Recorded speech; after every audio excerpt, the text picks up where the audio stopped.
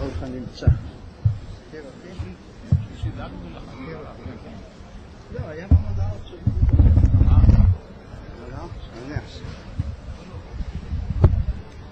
וידבר אדוני אל משה לאמור פנחס בן אלעזר בן אהרון הכהן השיב את חמתי מעל בני ישראל בקנאו את קנאתי בתוכם ולא כיליתי את בני ישראל בקנאתי לכן אמור הנני נותן לו את בריתי שלום מה היה פה? אומר פנחס בן אלעזר, השיא אומר שמה היה צריך להגיד? מי אבא שלו ומי הסבא שלו? אלא לפי שהיו השבטים מבזים אותו, הרי ייתם בן פוטי זה שפיתם אבי אמו עגלים לעבודה זרה, מי זה אבי אמו? זה יתרו, שנאמר ואלעזר בן אהרון לקח לו מבנות פותיאל לא לאישה אלעזר, בנו של אהרון, לקח גיסתו של משה רבנו. זאת אומרת, יתרו, היו לו שבע בנות. שניים מהחתנים שלו, מי היה? אחד משה רבנו, השני אלעזר הכהן. ואלעזר הביא את פנחס, שזה אליהו. עכשיו הם השבטים, אמרו מה זה? אנחנו יש לנו נשיא, זמרי בן סלו ושמעון היו נחשבים גם גיבורי חיל, חזקים, עבדיית, יעקב אבינו פחד מהם. אומר שמעון ולוי אחים, כי לחמאס מכירותיהם, בסודם על תבוא נפשי, בקהלם על תחת כבודי. והנשיא שלהם, זמרי בן סלוב, בא פנחס והרג אותו, ואמר על אלה יהרגו 24 אלף מישראל, התחילו לבזות אותו. מה עשה הקדוש ברוך הוא? בא הכתוב ויחסו למי לאהרון. עכשיו לא מפרשים, אז זה, מה החידוש? עדיין. כולם יודעים שהוא בן של אהרון. מה לא ידעו? מה החידוש כאן? ואיזה ייחוס מיוחד יש פה בפסוק, שלזה הפסוק מדבר, רש"י לא סתם מדבר ואומר שבה כתוב יחסו. רמה מפנו עליו השלום מבאר ביאור נפלא. הוא אומר, ידוע מה שרבינו ארי כתב, איך פנחס זכה, בכלל כל המעשה של פנחס, בהמשך, אם יזדמן, הקדוש ברוך הוא יעזור, לבאר את הפעולה הנשגבה שהוא עשה. כי באותה שעה היה סכנת כליה על כל עם ישראל. הפסוק מעיד, ולא חידיתי את בני ישראל בקנאתי. רבי חיים בן עטר אומר, הם לא פנחס בן אלעזר, אנחנו לא היינו בעולם. כך אומר רבי חיים בן עטר, אנחנו חייבים לא את החיים שלנו. אז לכן הקדוש ברוך הוא אמר, אני נותן לו את בריתי שלום, והייתה לו לכהונת עולם, כיוון שהוא החזיק את עם ישראל לנצח. אז זו הסיבה. עכשיו אם כן השאלה, חס בן אלעזר בן אהרון הכהן, מה זה בן אהרון? איך זכה פנחס לעשות מעשה כזה? זאת ועוד, הוא הלך ונכנס לתוך המחנה של שמעון, זה מחנה עוין, והלך ונכנס לתוך האוהל. זה עוד יותר נגד השכל. ובאוהל שמה נמצאת המדיינית, והוא איתה. השם ישמור שהם היו. בלי בגדים בכלל, השם הצילנו. איך הוא נכנס לשם? זה נס גדול. ואיך הייתה לו תעוזה.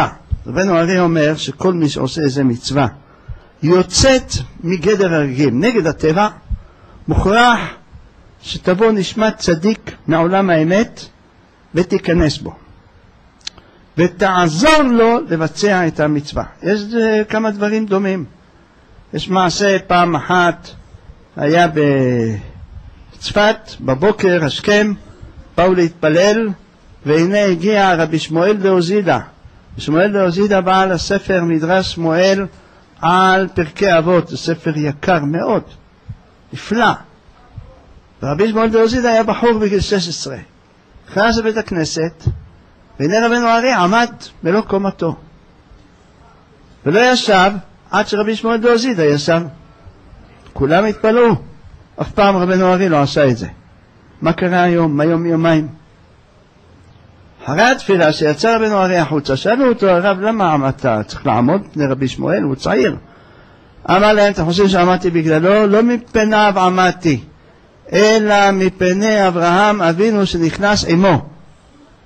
שעה שהוא בא לפה, אני ראיתי את אברהם אבינו נכנס ולכן עמדתי.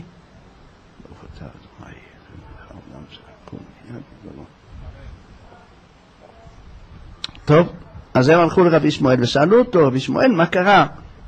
מה עשית היום? לא אמרו לו, אברהם אבינו היה איתך, הוא יכחיש, הוא לא ראה, הוא לא יודע.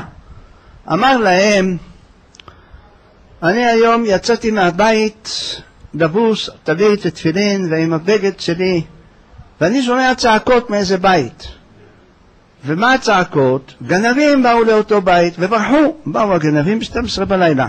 שם 12 בלילה זה כמו פה 3 לפנות בוקר, 4 לפנות בוקר, אין, אין איש. והגנבים יודעים, הגנבים מה גונבים תמיד? את הבגדים של הגבר. למה שם יש צ'קים, יש דולרים, יש יורו, יש כל מיני כספים, הארנק שם, זה הדבר הראשון שהגנב עושה. לוקח את הבגדים והולך. אז גנבו את הבגדים של בעל הבית. מסכן בעל הבית קם, רוצה ללכת להתפלל, מחפש את הבגדים שלו, אין! אין בגדים. אז התחיל לצעוק, איפה הבגדים שלי? סוף צועק לאשתו, גנבים באו לבית, רואה פריצה. זה אומר רבי שמואל, אני עברתי, שמעתי ככה, פשטתי מיד המעיל שעליי, אמרתי לו, תלבש אותו, קח, ולך לבית הכנסת. מפריע לך שאתה לא הולך לבית הכנסת? קח.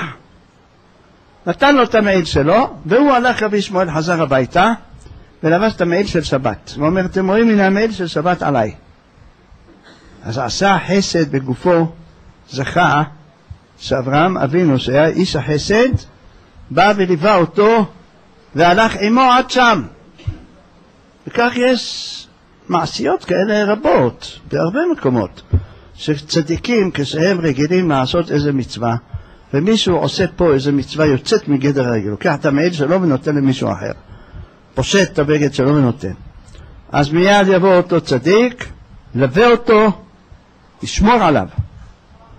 אז גם כאן פנחס בן אלעזר, כשהוא הלך לעשות את המעשה הזה, הזוהר הקדוש כותב משהו מבהיל היה. ולמה כל ישראל היו צריכים למות, חס ושלום? מפני שעץ הדעת קטרג אז. מה היה שם? בעץ הדעת כתוב, ותרא האישה, ותיקח מפריו, כך אומר הזוהר, ותאכל, ותיתן גם לאישה עמה, ויאכל. ארבע פעמים מוזכרים האותיות ו' ת', ותרא האישה, ותיקח מפריו, ותאכל, ותיתן.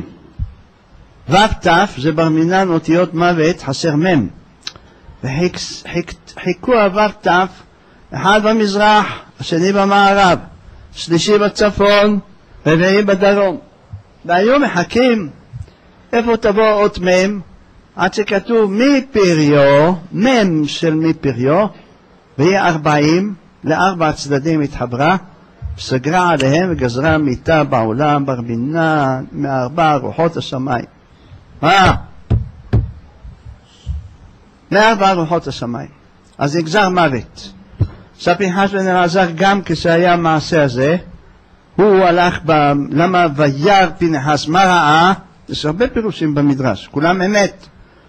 הוא ראה את אותו מוות של זמן עץ הדעת מרחף באוויר. מלאך המוות מסתובב עם החרב ומחכה להוראה מלמעלה להתחיל להרוג חס ושלום. כמו שהיה מגפה, 24,000. אבל זה היה רק הקצה, זה קצה המטה. אבל אוי ואבוי היה אם הוא היה זה. והוא התכונן, פלוני, להמשיך ולהכות בכולם, להרוג. וירא פנחס בן אלעזר ראה תו"ת, קרא את שם המפורש, מה הוא עשה? הם היו קוראים קריאת שמע. קריאת שמע יש שם אב. איפה יש שם ויקח רומח בידו? הגמרא אומרת רומח, רמח, רמח אותיות יש בשמע ישראל. למה אנחנו מסיימים השם אלוהיכם אמת? כי בקריאת שמע יש רק רמה תיבות, 245. אנחנו צריכים 248, חסר שלוש. אז בקריאת שמע שעל המיטה אנחנו אומרים אל מלך נאמן, זה שלוש. בקריאת